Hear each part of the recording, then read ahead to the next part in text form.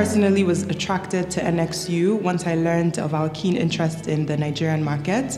Uh, Nigeria is home for me, and I'm a key patriot of our development, and I know how much we need solutions like Nexford University in our education sector. What I would like to change about education is the segregation between good education and what everyone else gets. I don't like the fact that the quality of your education is dependent on how much money you're willing to pay for it. Because of my education, uh, my confidence as an individual has significantly increased.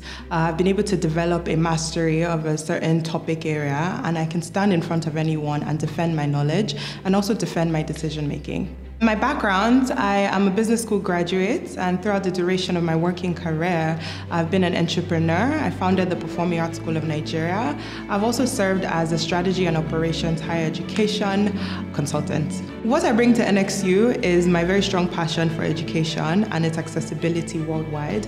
I also have a very keen interest on uh, the development of emerging markets, uh, particularly sub-Saharan Africa. There are two major issues that are close to my heart right now, and those are the poor literacy rates and the lack of upward mobility in our region.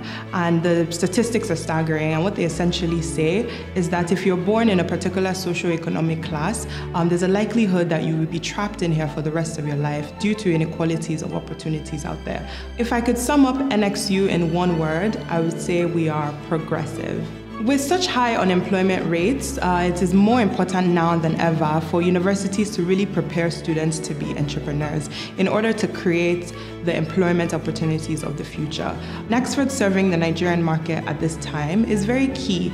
We do understand all the infrastructural challenges Nigerian students face. You know, going through an online program, we understand that power supply is often limited and unreliable. We also understand that data can be costly and also unreliable. And we factored all of this in. Um, we're really trying to create the most seamless possible uh, experience for Nigerian students.